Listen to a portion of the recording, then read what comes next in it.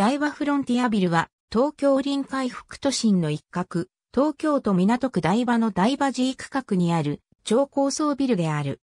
有明フロンティアビル、大見フロンティアビルとともに東京臨海副都心建設により建設され、1995年10月に竣工した。ビル上部の北西側には入居企業である UC カードのロゴマークが掲げられている。第7番目の副都心都都が位置づけ開発事業化計画を策定した臨海副都心地区において、都を中心とする第3セクターの東京臨海副都心建設が民間開発を牽引する先導的施設として先行整備し、開発の核となる最先端のオフィスビルのモデルとして建設した3棟のビルのうちの1棟である。建物は開発のシンボルとなるタワーとして建設が進められ、低層部は1、2階にエントランスホール、ロビー、店舗を配置。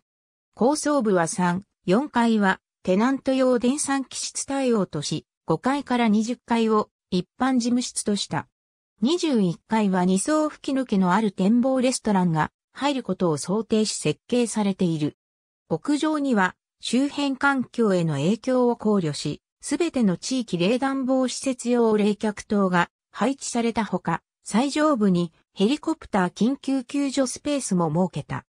オフィス基準階の平面形態は構造及び設備計画上バランスが良く、フレキシビリティの高い事務スペースを提供することが可能なリニアコアを採用し、4分割対応を可能とした。2004年1月時点での入居率は100%であった。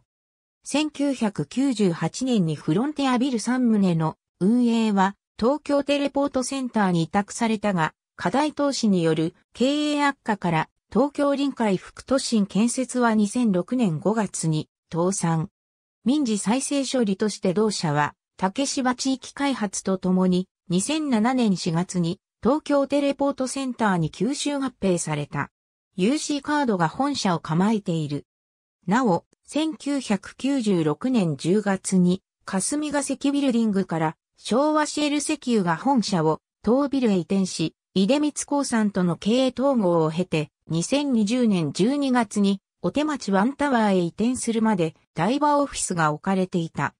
また1階にはシェルやフェラーリのグッズの展示、販売、カフェを併設したシェルミュージアムが開設されていたが、移転に先立ち2020年11月に閉館している。